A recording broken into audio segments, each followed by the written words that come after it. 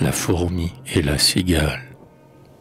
L'or, belle entre les grâces, qui porte avec mille grâces les diamants, sans jamais en être vaine, trouve qu'elle a trop de peine et trop d'amants. Elle dit, je me fatigue de tout ce luxe prodigue, de tous ces ors. Tout cela, c'est trop d'affaires, et je ne sais plus que faire de mes trésors. Chacun a la fantaisie de goûter à l'ambroisie de mes baisers.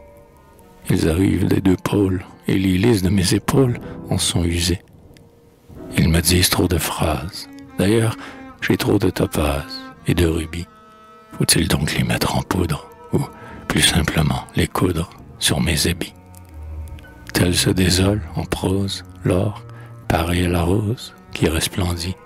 Elle se moque d'un prince et d'un banquier, mais la mince Irma lui dit Je n'ai rien dans mon armoire, car les satins et la moire se vendent cher. Ici, l'hiver, je frissonne, c'est que j'ai sur ma personne trop peu de chair. Si les faiseurs de tapage ont mis trop d'or sur les pages de ton roman, ne jette pas tout, ma belle, dans les boîtes de poubelle, et donne-moi.